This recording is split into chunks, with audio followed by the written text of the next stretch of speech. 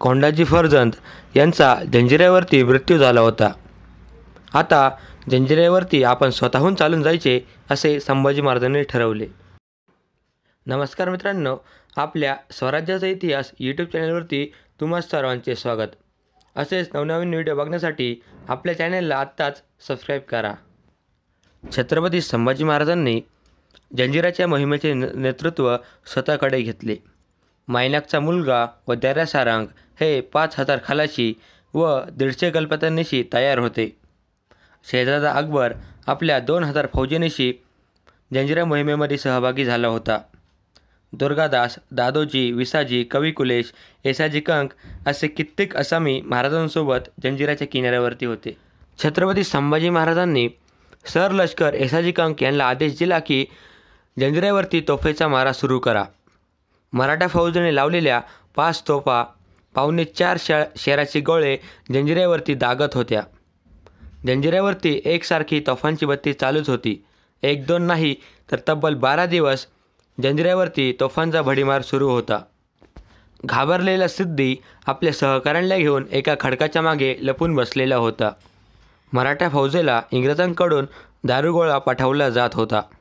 एकोणावीस जानेवारी सोळाशे ब्याऐंशीच्या पत्रातून मुंबईकर इंग्रज सुरतकरांना कळवतात की Sambhaji is resolved not to raise the siege so long as he had a झॅकी to his back or else to gain peace report said he will cleanse all the sea of Christians and take all the places to himself he had got so much army of man with him had made all all extraordinary dear If Siddhi enters here, we must strengthen our guards to keen strict watches in all parts of continual alarms. From Sambhaji will be without intermission.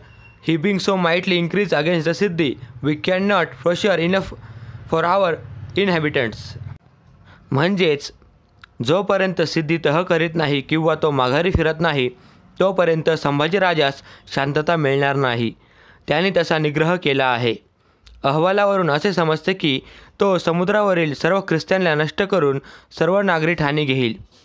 त्याकरिता त्याने चांगल्या शिपायांची सर्व शक्तीनिशी तयारी केली आहे.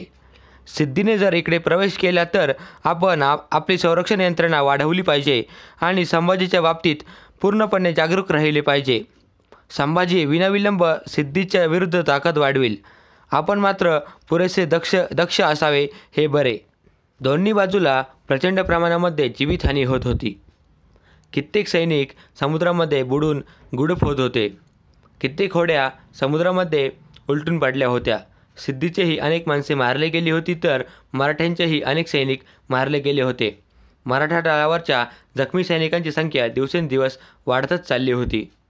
संभाजी महाराजांना कळून चुकले होते की जोपर्यंत आपण जंजिराच्या प्रवेशद्वारापासून प्रवेश करत नाही तोपर्यंत जंजिरा घेणे केवळ अशक्यच. पुढे संभाजी महाराजांनी एक असा आदेश दिला की जो ऐकून ऐकणारा प्रत्येकजण अवाक झाला होता. ना भूतो ना भविष्य असा संभाजी महाराजांचा तो निर्णय होता. त्याबद्दल आपण पुढच्या व्हिडिओमध्ये बोलू. धन्यवाद. जय जिजाऊ जय शिवराय जय शंभूराजे.